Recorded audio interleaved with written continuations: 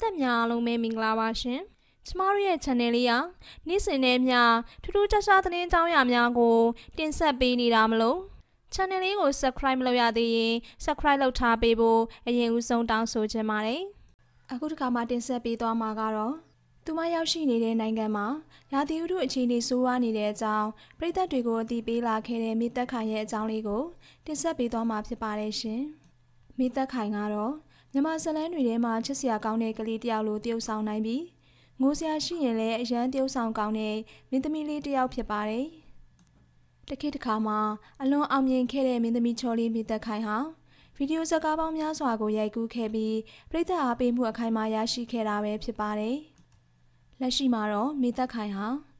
အောင်မြင်မှုရရှိနေတဲ့နုပညာလုပ်ကိုရန်နာထားခဲ့ပြီးတာမန်လူအဖြစ်နဲ့ပဲရိုးရှင်းစွာနေထိုင်နေတော့တဲ့အကြောင်းအင်တာဗျူးတွေမှာဖြေခဲ့တာပါ။ အခုဆိုရင်တော့သူမဟာအနုပညာလောကကနေထွက်ခွာပြီးချစ်ရတဲ့မိသားစုနဲ့အတူတူနိုင်ငံခြားမှာသွားရောက်နေထိုင်နေတာဖြစ်ပါတယ်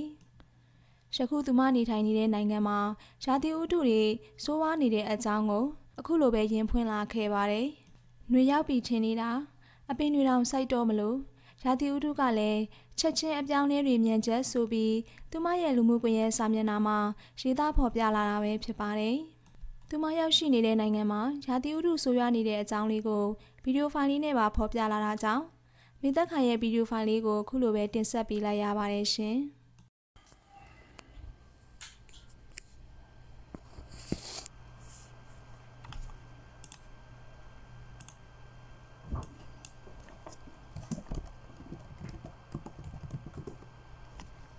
စိတ်ဝင်စားဖွယ်သတင်းကြောင်းရာများကိုနေ့စဉ်တင်ဆက်ပေးနေမှာဖြစ်လို့ channel လေးကို subscribe လုပ်ပြီးဘေးကခေါင်းလောင်းလေးကိုလည်းနှိပ်ထားပေးဖို့တောင်းဆိုချင်ပါတယ်ရှင်။